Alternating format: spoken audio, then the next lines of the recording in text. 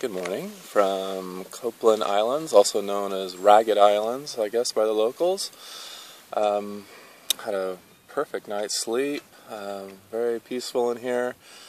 Uh, boat traffic starting to cruise by on the uh, outer uh, channel, and I'm getting boat wakes. Looks like I may get one in here in just a minute.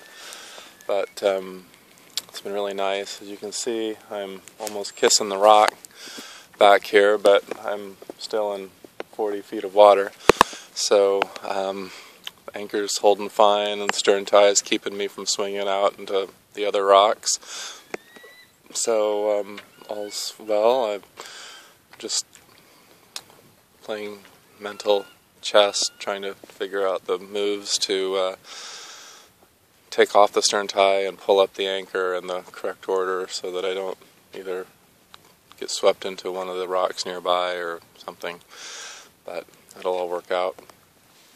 So I think I'm going to head up um, this Thurlow Channel over here this morning and up to Desolation Sound and stay in Prideaux Haven, which is uh, what everybody says the quintessential spot in Desolation Sound. So um, apparently Victoria weekend is this weekend. I'm hoping it's not too busy. Um, Lund was super busy. I was surprised. But um, Boy, here comes the sun.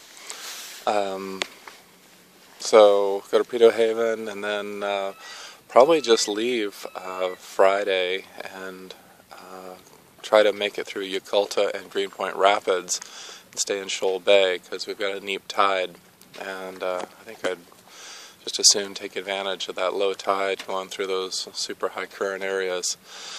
And then I've got two, three more rapids to run on Saturday.